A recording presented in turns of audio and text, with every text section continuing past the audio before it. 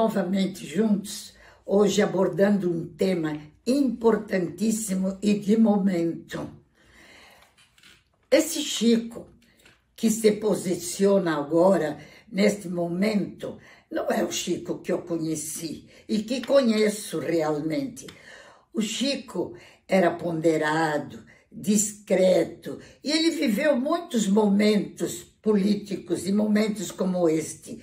Era sempre procurado por espíritas, por não espíritas, que o procuravam para ver sua opinião. Chico era uma pessoa politizada, estava sempre a par, mas era discreto, prudente, como sempre em qualquer situação difícil.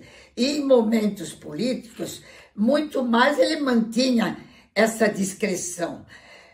Chico, respondendo a uma pergunta de um companheiro espírita há muitos anos que queria entrar na política e já tinha uma tarefa espírita muito grande aqui em São Paulo, foi perguntar ao Joaquim, pediu ao Joaquim que perguntasse ao Chico, naqueles momentos íntimos que eles tinham era de, de trabalho aos sábados de manhã, e que na época o Chico recebia doutor Bezerra para que ele é, psicografasse conselho.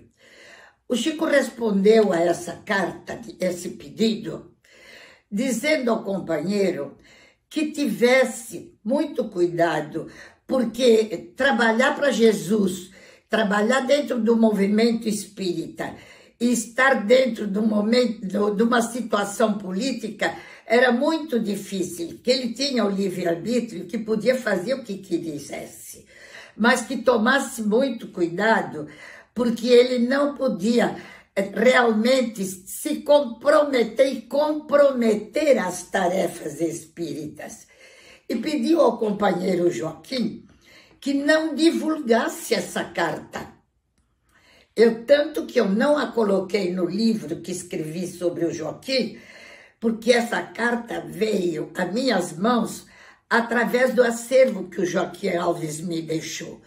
Mas se Chico naquela época pedia que não divulgasse a carta, hoje muita coisa que se diz sobre a opinião política de Chico e pede que divulguem um companheiro espírita. Você vê, quando me chegou aos ouvidos que estava se divulgando isso através da internet de Chico, estas palavras e dizendo: divulgue sim, pedindo que o companheiro espírita divulgasse eu analisei e disse: não pode ser Chico. Pode ser que o Chico disse alguma coisa referente ao, ao momento, mas essas palavras devem ter sido acrescentadas. Mesmo porque Emmanuel seria que permitiria que o Chico, exigente como ele é, dentro do movimento espírita, que um médium de tamanha responsabilidade dissesse para ele tomar partido. Analisei essa palavra. Outra palavra que analisei do recado que veio pela internet, dizendo que seria Chico, era sobre palavreado. Um palavreado agressivo, chamando de criminoso um candidato eu fui muitas vezes ao presídio em Uberaba com o Chico, fui aqui na penitenciária e o Chico não se referia a nenhum detento desse jeito. Criminoso e detento, ele abraçou muitos. Eu estava junto.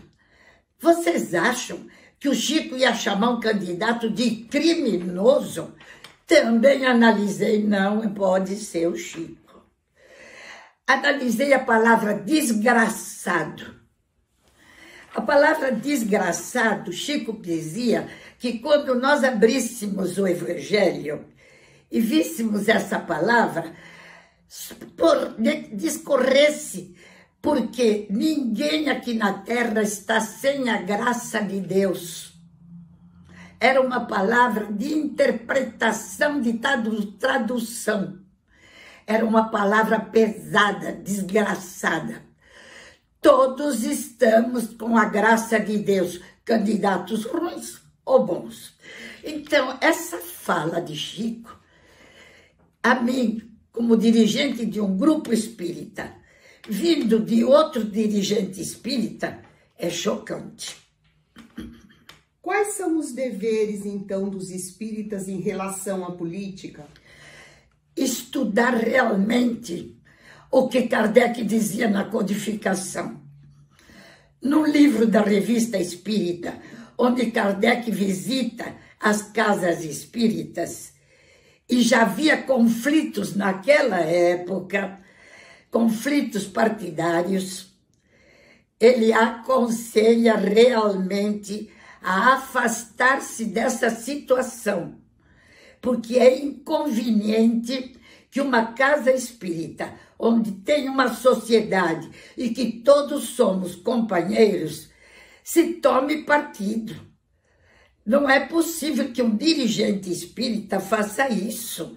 É desequilíbrio, porque normalmente há conflitos se você tomar partido. Então, o bom dirigente espírita estuda melhor Kardec. Muita propaganda política pode ser feita subliminarmente e pode ser levada por espíritas na casa espírita e fora dela. Quais as responsabilidades do dirigente nessa questão? O dirigente deve preservar a casa espírita, porque nós dissemos antes exatamente que nós somos companheiros e o livre-arbítrio é realmente uma coisa maravilhosa para o ser humano. Você pode ter uma ideia hoje e até mudá-la amanhã. Então, o dirigente espírita deve preservar, vacinar-se sobre esses conflitos. Se ele tomar posição e as pessoas disserem, a pessoa me disse porque é dirigente, nós não somos realmente aqueles emissários de Deus. Somos criaturas que estamos aqui na Terra fazendo o melhor possível. Então, todos temos e devemos ter a consciência de nossas obrigações políticas, mas preservar a casa espírita, sem dúvida nenhuma. E a política pode separar os espíritas? Se pode, o que deve ser feito para que isso não ocorra? Quando Kardec foi visitar os centros, já estava separando. E isso aconteceu agora, há pouco tempo, na nossa casa espírita. Nós tivemos que tomar medidas radicais, dizer, o dirigente que estiver colocando alguma coisa sobre seu candidato na internet, será, será tirado a sua obrigação o seu lugar de posto como pessoa que divulga o espiritismo no Centro Espírita União. Por quê? Porque ele estava criando conflitos entre os companheiros. Então, o dirigente espírita deve ser como um pai de família. Se há conflito entre os irmãos, ele não deve fazê-lo.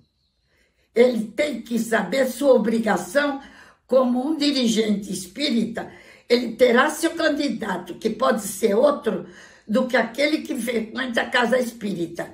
Mas a casa espírita tem que ser preservada. O que você diria se você tem mais familiares dentro da casa e você começa a agredir, fazer dessa maneira, a chamar o outro que não é o seu candidato de desgraçado, de criminoso, de tudo isso que disse, que o Chico disse. Se você não faria, não acredite que o Chico tenha feito. Temos livre-arbítrio para escolher os nossos candidatos. Que critérios devemos usar para escolhê-los? Bom, cada um tem seus critérios. Nós temos o livre-arbítrio.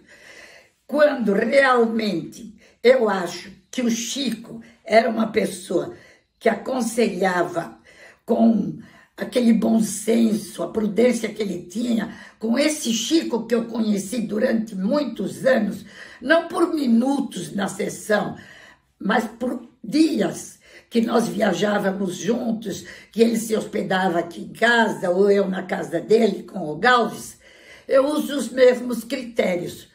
Prudência, silêncio, até quando você está numa reunião familiar, com vários filhos seus, que este momento acontece e cada um dos irmãos tem uma opinião.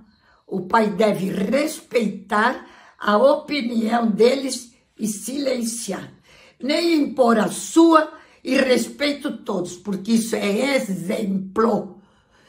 E o dirigente espírita tem que ter na casa espírita a mesma coisa que um bom pai de família bom voto, boas eleições, muita prudência, muita oração.